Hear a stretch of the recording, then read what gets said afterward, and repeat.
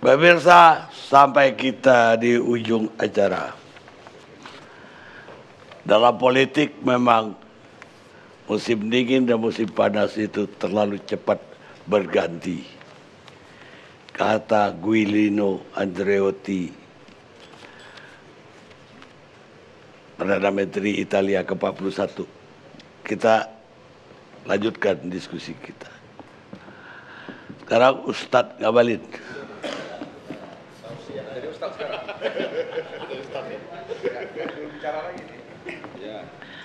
Oh iya, udah dipanggil belum? Ini pertanyaan pertama. Pertanyaan, saya dipanggil tidak dipanggil hari-hari ada di istana. Jadi udah permanen residen. ya? Artinya kan eh, Dato juga tahu bahwa ada jabatan tidak ada jabatan, saya selalu ada di samping Joko Widodo. Luar biasa. Bi Jadi- behind, ya. Jadi bagi saya ruang publik ada Ali Mukhtar untuk menjaga narasi dan diksi yang menyesatkan publik dan masyarakat, saya harus meluruskan. Umpamanya BPJS, ini untuk Dr. Said Didu. BPJS Kesehatan itu ada dua kategori Bapak. Yang pertama adalah penerima bantuan iuran bagi mereka yang punya ekonomi rendah dan tidak mampu. Dan yang kedua BPJS Kesehatan itu adalah bagi mereka yang mampu dengan kesadarannya membayar sendiri. Apa logikanya? Logikanya adalah yuran Bapak Said Didu, yuran DPR dengan yuran masyarakat petani atau nelayan itu berbeda. Mereka mendapatkan bantuan yuran. Diksi dan narasi ini harus diluruskan supaya masyarakat tidak boleh tersesat di jalan dan ruang yang terang benderang. Itu pengertiannya.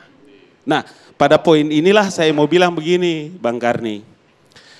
Sebetulnya kan sejarah Republik Indonesia ini kan dalam hal istilah rekonsiliasi atau istilah koalisi bukan istilah yang baru. Yang paling penting itu adalah memang harus mengurai sejarah Republik dengan baik. Republik ini kan pernah tercatat dalam sejarah. Bulan Juli tahun 1956, seorang the founding father kita, Muhammad Hatta, mengirim surat ke Dewan Perwakilan Rakyat pada waktu itu. Ketuanya Sartono untuk menyatakan mengundurkan diri sebagai awal dari pecahnya Dwi Tunggal pada waktu itu. Dan seluruh orang, kita belum hadir hidup di dunia pada waktu itu. Bang RR sudah hadir, sudah ada. Itu adalah Dwi Tunggal yang sejarah perjalanan kehidupan orang berdemokrasi dan berpemerintahan, kosongnya kursi wakil presiden. Nanti 17 tahun kemudian, pada periode bukan pada periode Soekarno, periode Soeharto, baru muncul yang namanya wakil presiden Hamengkubuwono ke-9. Apa yang mau saya cerita dari sejarah besar itu, itulah sejarah yang mencatat bahwa dalam damai pun ketika orang berbeda pendapat dan pandangan, dia bisa menyatakan pisah dan berbeda dalam pandangan secara gentleman. Begitulah watak orang-orang Padang itu. Seperti Dato, seperti Profesor Effendi. Kalau hari ini kemudian eh, Presiden Joko Widodo kemudian dengan watak kenegarawanannya, dengan watak sebagai seorang pemimpin, melihat pemilu 2019 adalah terjadi polarisasi yang begitu besar, terpecah dan belah ini masyarakat Indonesia. Kuncinya adalah dari pemilu. Ada dua calon presiden, Presiden Joko Widodo, Presiden Prabowo, calon pada waktu itu. Bahwa kalau hari ini Presiden Joko Widodo membuka diri kemudian melihat dan masa depan visi Republik Indonesia tidak boleh begini terus menerus. Orang mencaci maki, orang hujat menghujat, orang menuduh yang lain itu uh, uh, suci dan orang lain itu kotor, yang lain bisa masuk surga dan yang lain masuk neraka. Watak pemimpin seperti inilah muncul sifat kenegarawanannya, kemudian mengajak dan berbicara. Tidak bisa seperti ini negara kita. Pemilu akan datang 2024 tidak boleh lagi rakyat diperhadapkan secara diametral dalam kepentingan politik sesaat seperti ini. Di mana salahnya? Masa sih ketika ini suasana terjadi seperti hari ini, pemerintahan keduanya belum jalan, orang baru dipanggil-panggil untuk melakukan ngobrol, memperkenalkan, kita sudah nyinyir seperti mau pecah republik ini. Sampai kita menuduh tidak boleh lagi ada pemilu. Sementara kita memilih demokrasi dan sistem presidensial itu, pemilu adalah pintu di mana kita harus melakukan dalam menentukan siapa pemimpin republik ini. Di mana salahnya? Masa sih tidak ada teori seperti itu? Saya agak keliru. Apakah kita sekolah salah dan menemukan bahwa di sana sini ada yang belum beres, di sana sini masih ada yang tidak benar. Memang benar. Negara mana sih yang bisa satu keputusan politik di dunia itu memberikan ke kepuasan kepada semua orang? Tidak ada. Sedemokrasi kayak Amerika Serikat, kerajaan Inggris, Belanda, Belgia, Swiss. Saya pernah datang bersama-sama dengan Profesor Effendi. Kami meneliti di Belgia, kami meneliti di Swiss. Yang begitu ramah dan teduh. Tapi mereka tetap berbeda pendapat. Bagaimana bisa kita mencontohkan sistem itu? Dari sistem ini, Bang Fahri, memang yang kurang dari kita itu adalah kultur. Sistem ada, tapi kultur kita tidak punya. Kita tidak punya kultur terhadap ketaatan pada satu aturan. Maka saya berkali-kali bilang, isi Injil, isi Quran, isi Tripitaka, Tripitaka, Weda, dan seluruh kitab-kitab suci itu tidak ada yang salah. Yang salah ketaatan kita tidak rujuk kepada ketentuan kitab-kitab yang diajarkan para ustadz, para kiai, para pendeta, pastor, biksu, dan lain-lain. Nah konteks inilah menurut saya, Dato Daulat Tuanku, ILC ini menjadi satu forum untuk kita memberikan pembelajaran kepada rakyat Indonesia saya pernah menjadi direktur Koalisi Merah Putih pada waktu 2000 berapa? 2090 berapa itu? Dengan 2004. Iya kan? Berapa? 2000 berapa? Kemarin 2009. Saya pernah menjadi direktur politik Koalisi Merah Putih. Pada waktu Mahkamah Konstitusi mengatakan pada waktu itu pemenangnya adalah Presiden Joko Widodo dan Wakil Presiden Yusuf Kala. Saya orang pertama yang bilang, semua gagasan-gagasan terbaik yang kita pikirkan untuk kemajuan bangsa dan negara, kita tulis pada waktu itu Prabowo Hatta.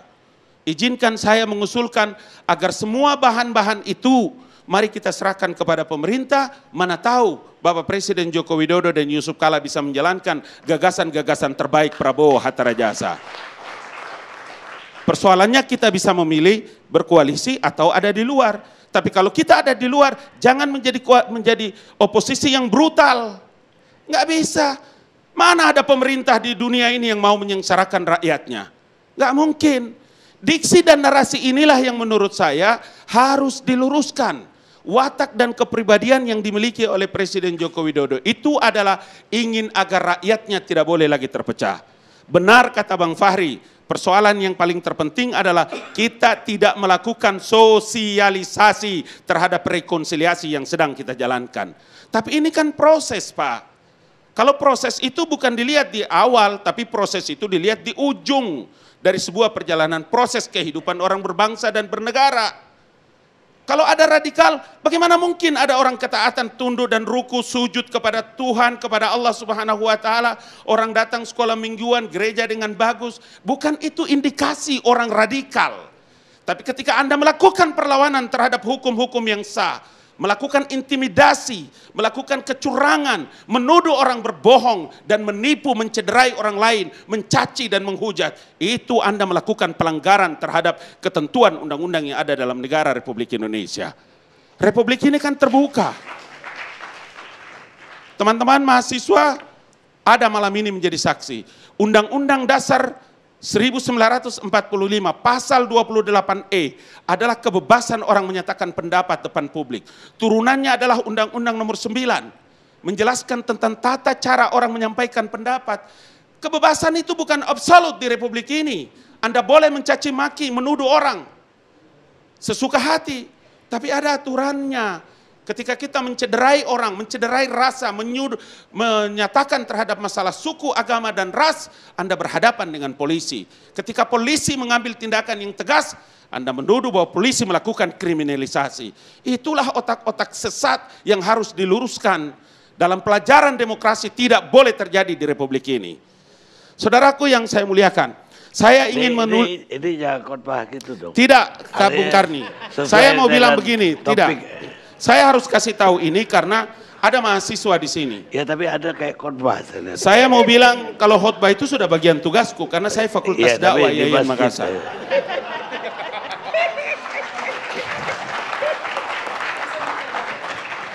Bang Karni, Iya. Muhammad Hatta dalam buku Untuk Negeriku menuliskan dengan tegas watak dan kepribadian seorang negarawan adalah memiliki kemampuan integritas. Integritas itu adalah sebuah lambang kejujuran. Dalam pengertian lain, integritas adalah sifat yang menunjukkan kesatuan yang utuh sehingga memiliki potensi dan kemampuan yang memancarkan seorang negarawan menyatukan bangsa dan negaranya, memiliki kepribadian utuh, membentuk dari barat ke timur, selatan ke utara untuk apa? Untuk masa depan generasinya. Itulah The Founding Father. Ditulis oleh Muhammad Hatta bahwa salah satu ciri negarawan itu adalah mempersiapkan peradaban bangsa. Peradaban bangsa itu adalah mempersiapkan the young generation, generasi baru. Dipikirkan oleh Joko Widodo. Untuk apa? Untuk masa depan generasi. Apa yang disebut itu? Itulah yang disebut dengan bagaimana menyiapkan generasi barunya dengan sumber daya manusia. Mengeluarkan peraturan stuntingnya, mengeluarkan semua aturan-aturan untuk kepentingan gizi dan masa depan generasi. Poin inilah yang menurut saya penting kenapa harus kita bicarakan. Saya mengutip sedikit pengertian. Dulu saya sama-sama DPR dengan Bang Fahri. Tapi saya di Komisi 1, beliau di Komisi 3 kami membicarakan tentang Flight Information Region, FIR, terbang di atas udara wilayah kedaulatan Republik Indonesia di 35 ribu kaki di Batam, izinnya ke Singapura. Hari ini pemerintah mengembalikan kedaulatan itu yang berpuluh-puluh tahun tidak bisa terlaksana. Siapa yang bisa lakukan itu? Dengan izin Allah, kalaulah benar-benar nanti Bapak Jok Pak Jokowi mengangkat Pak Prabowo menjadi Menteri Pertahanan, saya percaya Pak Prabowo yang memiliki kemampuan untuk bisa melakukan itu. Tidak ada yang salah. Tidak ada yang salah saudaraku. Apa di mana dan sistem pemilu mengajarkan kita tentang demokrasi Bang Miing. Sistem pemilulah yang membuat konsekuensi kita harus berdemokrasi dan berbeda pandangan. Tapi di atas rule, di atas sistem dan nilai-nilai demokrasi itu. Kenapa dengan peristiwa hari ini kemudian harus kita jadikan sebagai bahan untuk memecahkan rakyat dengan diksi dan narasi yang menurut saya tidak boleh lagi terulang di forum terhormat seperti ILC. Salam untuk rakyat dan bangsa Indonesia, kalian punya pemerintahan baru sudah datang. Terima kasih untuk Dato. Assalamualaikum warahmatullahi wabarakatuh. Bang Karni, Jadi ini Pak Ali ini saya lihat memang penyambung lidah Jokowi, memang luar biasa. Makanya saya khawatir beliau masih juru bicara atau tidak. Karena tadi ada juru bicara lagi. Salah Bang Karni, kalau juru bicara itu jabatan doa bawah. Ini Ini, penyambung. penyambung. lidah Oh, Jokowi lebih- itu di atas Bang. Lebih mulia, lebih mulia. Ya, saya tidak usah ngomong lagi. Iya. Tetapi saya mau bilang begini, Dato. Saya sudah bilang di depan Presiden Joko Widodo. Semoga beliau nonton malam hari ini. Nonton, Pak. Bukan saja nyawa, bukan saja ilmu, bukan saja pengalaman saya persembahkan kepada Bapak. Tapi kalau negara ini satu saat membutuhkan nyawa, ku persembahkan untuk negara dan kehormatan Bapak Presiden. Luar. Bang tadi saya mau melamar jadi konsultan, udah diambil sama Ali semuanya. Jadi Bang Hari Azhar, Haris, tidak usah antum ragu kalau nanti saya kehilangan panggung dengan adindaku. Tidak. Kami ini sama-sama berbagi dan kami ini sama-sama adalah kader Muhammadiyah. Saya pemuda Muhammadiyah, dia pemuda Muhammadiyah. Saya kakaknya, tidak usah ragu itu Bang. Untuk kepentingan negara.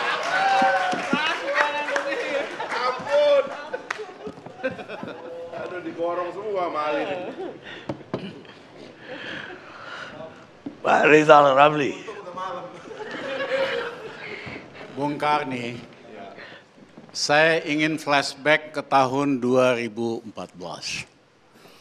Pak Jokowi nongol dengan dukungan sangat demokratis, melalui proses yang demokratis, dan yang ketiga antusiasme rakyat itu luar biasa terhadap perubahan.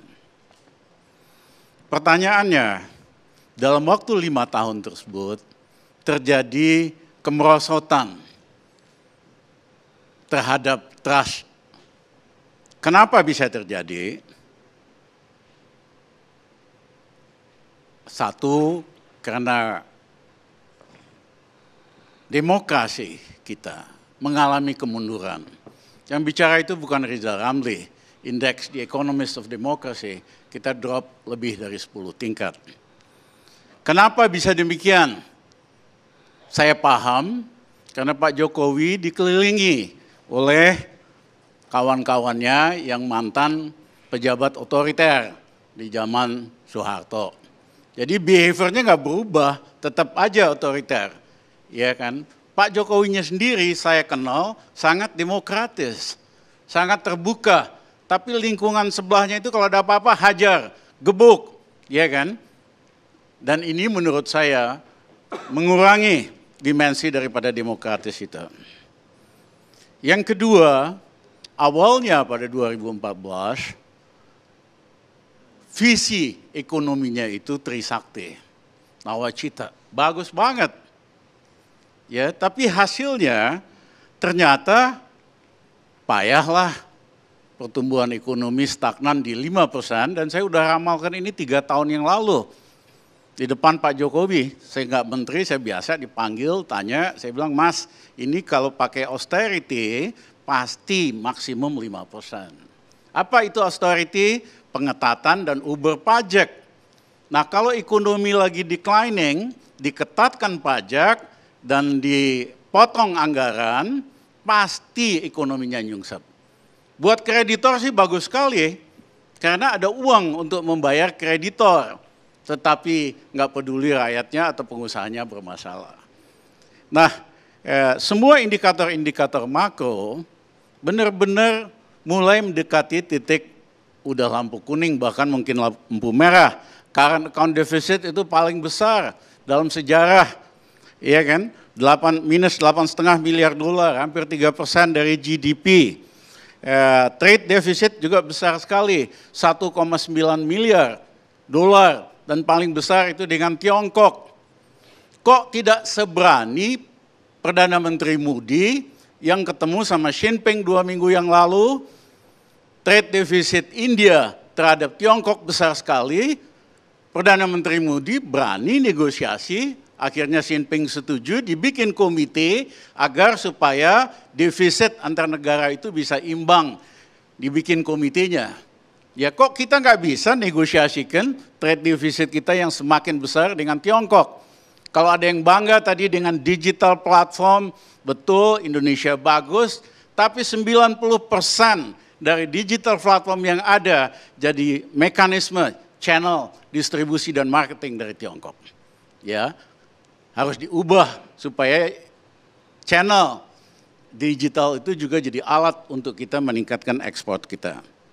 Nah, eh, pertanyaan saya kok bisa demikian?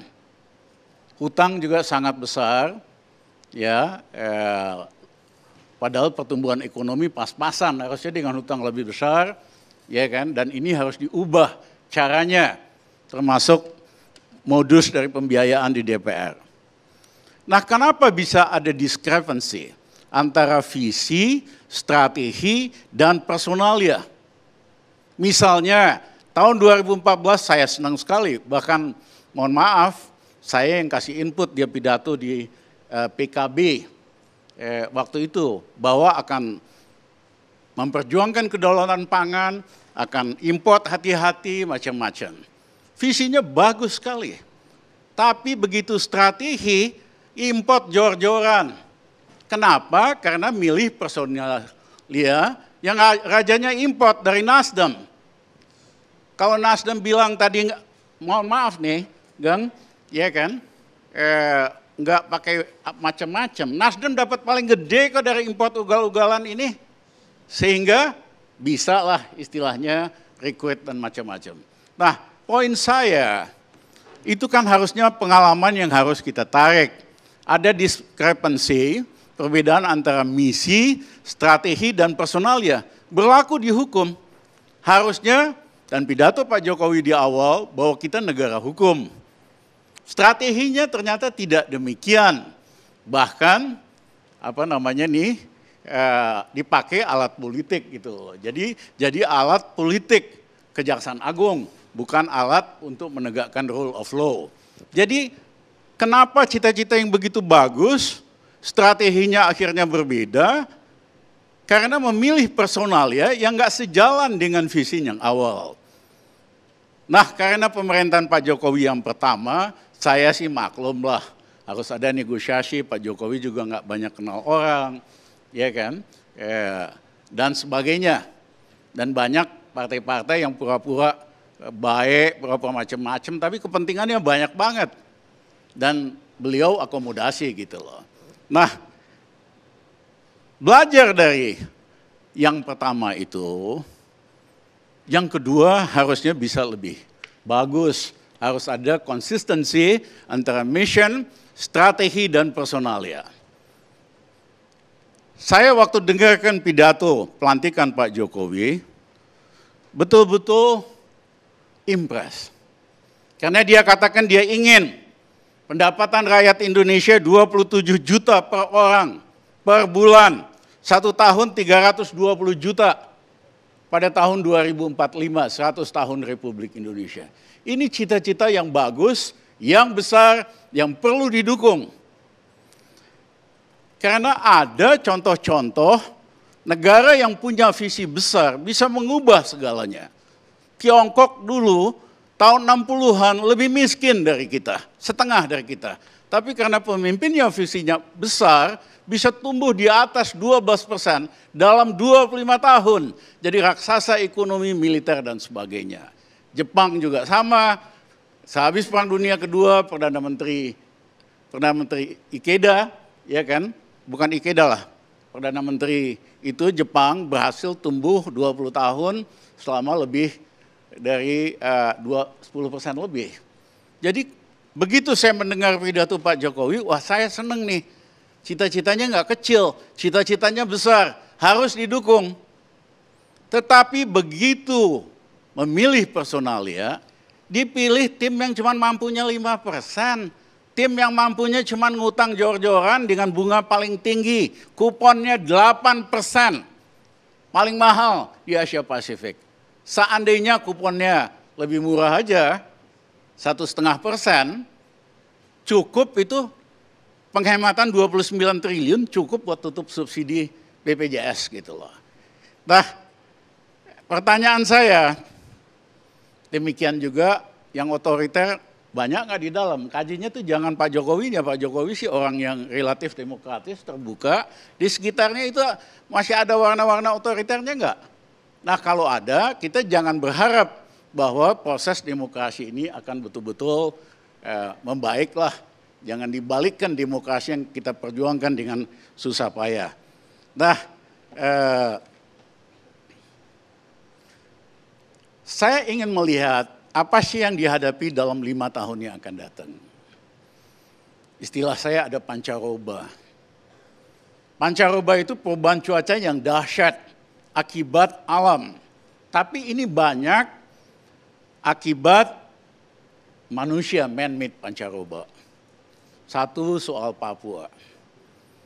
Ya, mohon maaf pemerintah nggak nangkep esensi dari keberatan orang Papua, yaitu ketidakadilan dan rasisme. Padahal undang-undang kita itu anti rasisme. Harusnya yang mulai ini harus ditindak buat kasih shock terapi sama yang lain. Dan yang kedua, di Papua memang rakyatnya miskin sekali. Ada yang kaya, bupati, pejabat, ya luar biasa kayaknya, kepala suku, 30-an sedang-sedang, rakyat biasa itu kehidupannya susah sekali, makan susah, macam-macam susah. Nah, harus kita ubah cara kita menyelesaikan masalah Papua. Jangan bentar-bentar kirim tentara, kirim polisi, pakai cara yang lebih canggih lah, yang lebih kemanusiaan. Nah, sayang dari nama-nama yang disebut bakal jadi pejabat, ya saya nggak lihat orang Papuanya. Tadinya saya berharap Pak Ngabalin salah satu Iya kan? Ada, ada Bahlil orang Papua. Ah, tapi dia mohon maaf Papua bukan Papua asli ah, ah, Papua pantai lah. Ya kan perlu, perlu Papua yang benar-benar Papua lah supaya spokesman-nya itu mewakilin orang Papua. Jangan lagi yang bicara itu ya kan yang bukan mewakili betul-betul aspirasi Papua. Itu satu pancarobanya. Yang kedua adalah soal KPK, soal KUHAP, macam-macam. Dalam hal ini saya berbeda pendapat dengan sahabat saya Bung Fahri. Ya. Poin saya adalah KPK bisa dihapuskan asal bersihkan dulu polisi, bersihkan dulu kejaksaan, rapiin dulu. Kalau itu rapi baru kita kurangilah peranan daripada itu. Iya kan? Nah, tetapi memang saya memahami juga ini bukan persoalan mudah. Di satu sisi Pak Jokowi ditekan oleh partai-partai supaya lemahkan KPK. Karena partai-partai yang ketakutan yang ditangkap ratusan itu partai-partai semua. Tapi dari bawah mahasiswa merasa bahwa KPK justru harus diperkuat. Nah kalau mahasiswa kan selalu melihat black and white aja, hitam sama putih. Tapi kalau partai sebetulnya titik pencetnya itu banyak. Pengen jadi menteri lah, pengen proyek lah, pejabat, bisa ditekan mana-mana kok. Artinya menurut saya Pak Jokowi harusnya ikut mahasiswa. Perkuat KPK, sembari benerin kepolisian. Tapi Bang Karni, kita ini demokrasi. Kita memang perlu partai politik buat stabilitas dan demokrasi. Nah partai yang sangat berpengaruh hari ini di Indonesia, parpol, yaitu partai polisi. Nah, yang ketiga adalah ekonomi rakyat. Selama ini kebijakannya uber pajak rakyat yang kecil-kecil. Yang gede-gede nggak berani. Membayar pajak dari batu bara, sawit itu kecil kok kontribusinya. Kenapa nggak itu yang diuber? Kenapa yang rakyat? Karena kalau rakyat dikurangi pajaknya, mereka punya daya beli, akhirnya sektor retailnya hidup, akhirnya ekonominya hidup. Tapi kalau orang kaya dipermudah pajaknya, dia hedging, dia beli emas, beli mata uang asing, tidak akan dibelanjakan. Itulah yang kami lakukan zaman Gus Dur. Kami naikkan gaji pegawai negeri sipil tentara 125 persen dalam 21 bulan. Begitu dapat uang itu mereka belanjakan, sektor retailnya hidup. Dan bahkan pemenang Nobel yang baru katakan, justru yang harus dipompa daya belinya yang golongan menengah bawah. Karena begitu itu dilakukan, ekonomi akan lebih hidup. Itu pemenang Nobel Nobel yang baru. Eh, yang keempat adalah kebijakan yang berlebihan, terlalu bermesra-mesraan dengan Tiongkok. Kita perlu dagang bisnis komersial dengan Tiongkok. Tetapi secara fair, jangan sampai kita defisitnya terlalu besar. Kita harus negotiate. Dan yang kedua, jangan berikan kepentingan strategis kita sama Tiongkok. Ada itu yang berikan ya eh, pelabuhan di pinggir Selat Malaka, di Bitung, karena itu strategik, itu strategik lane kita Selat Malaka sama Selat lewat sampingnya Bitung. Nah dalam proyek-proyek strategis ini Tiongkok biasanya bukan hanya sekedar membiayai dan meminjam, tetapi istilahnya land to own. Kasih pinjam besar sekali supaya nggak bisa bayar. Supaya pada akhirnya bisa dikuasain 99 tahun. Itu terjadi di Sri Lanka dan lain-lain. Tapi ini bisa diomongin baik-baik kok kalau kita percaya diri. Yang lain bisa, Mahathir bisa, Modi bisa, harusnya kita bisa. Nah yang terakhir adalah soal demokrasi dan uh, governance. Ya saya mohon maaf dari daftar nama itu, ada yang konflik kepentingannya terlalu besar kok ya too much lah, offset itu. Harusnya gitu-gitu di stop. Karena kita ingin menegakkan good governance yang yang bagus. Nah, dari lima masalah pancaroba ini, ini hanya bisa diselesaikan jika Pak Jokowi memiliki trisula istilah saya. Trisula itu senjata eh, apa dewa-dewa eh, Aquaman. Ya kan? Apa itu Trisula? Satu trust. Mampu nggak dengan segala situasi ini kita kembalikan trust kepada Presiden Jokowi. Yang kedua credibility. Mampu nggak ditumbuhkan kredibilitas, pasti bisa asal yang ngaco-ngaco, yang konflik kepentingan disingkirkan. Yang ketiga, berpihak sama rakyat nggak kebijakannya? Kalau hanya atau hanya berpihak kepada asing. Ya, Pak Jokowi bolak-balik investor datang macam-macam, sediakan macam-macam. Asing nggak pernah datang, kecuali di sektor sumber daya alam. Kenapa? Karena ekonomi Indonesia hanya tumbuh 5 persen. Ngapain datang ke Indonesia? Mending datang ke tempat lain yang 6 atau 7 persen. Jadi strateginya harus dibalik. Bagaimana tahun depan ekonomi itu enggak malah anjlok 4 persen, malah naik di atas 6,5 persen. Investor asing yang nggak masuk pasti rugi. Dan jangan lupa faktor korporasi. Hari ini sudah banyak yang gagal bayar default yang gede-gede di sektor properti, di sektor tekstil. Kalau ekonomi tahun depan anjlok ke bawah 4,5 persen, bisul default ini makin lama makin besar. Itu ada istilahnya eh, Nikkei bikin survei namanya zombie company, yaitu persentase perusahaan di pasar modal yang dari pendapatannya saja tidak mampu membayar bunga. Sehingga hanya bisa survive kalau di restructuring, di refinance. Nah tahun lalu angkanya zombie company di BIJ 13 persen. Tahun ini nambah 11 persen, 24 persen. Kalau ekonomi anjlok lagi tahun depan, ini yang gagal bayar makin banyak. Ingat nggak tahun 96-97 ada perusahaan besar sekali ya kan, nerbitkan bond 16 miliar dolar, bisnisnya bagus, kertas, uh, palm oil, tapi terlalu ambisius, akhirnya 97 nggak mampu bayar default 16 miliar dolar, akhirnya perusahaan-perusahaan lain yang tadinya sehat ikut rontok, termasuk pemerintah, dan akhirnya kita terpaksa ikut austerity programnya IMF. Nah, kalau saya lihat ini, pilihannya ya Menteri Keuangan terbalik kita ini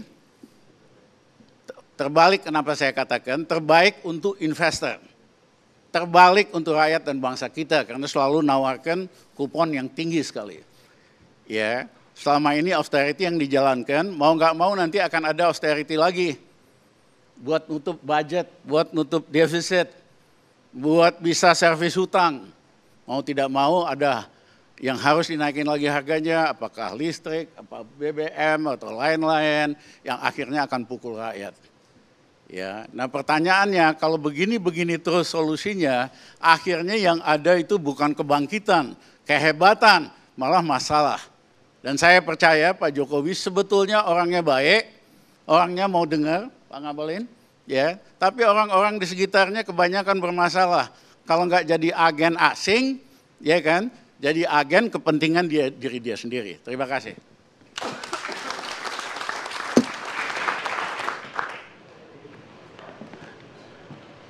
Pemirsa, akhirnya diskusi kita selesai juga. Dan kesimpulannya memang ada bagusnya ada rekonsiliasi, ada koalisi yang lebih besar, partai-partai pemerintah, tapi juga berbahaya kalau tidak ada oposisi sama sekali. Karena ketika tidak ada partai yang oposisi, maka pemerintah akan berhadapan dengan rakyat yang berperan sebagai oposisi. Dan itulah malapetaka yang terjadi di Louis ke-16 Prancis atau Mussolini di Italia dan terakhir Soeharto di kita. Kami diskusikan, Anda simpulkan. Kita ketemu ALC yang akan datang.